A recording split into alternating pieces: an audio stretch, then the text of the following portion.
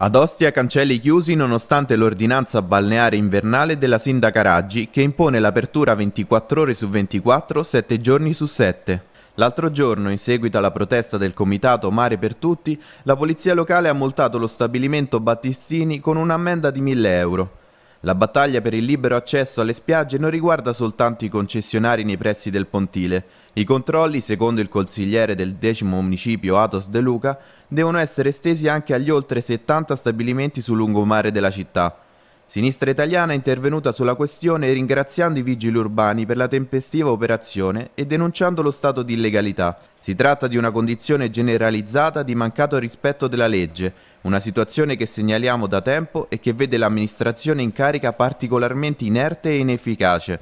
I beni pubblici, ha concluso, non possono essere privatizzati e utilizzati in modo esclusivo e predatorio, danneggiando i cittadini e aprendo di fatto pericolosissimi precedenti.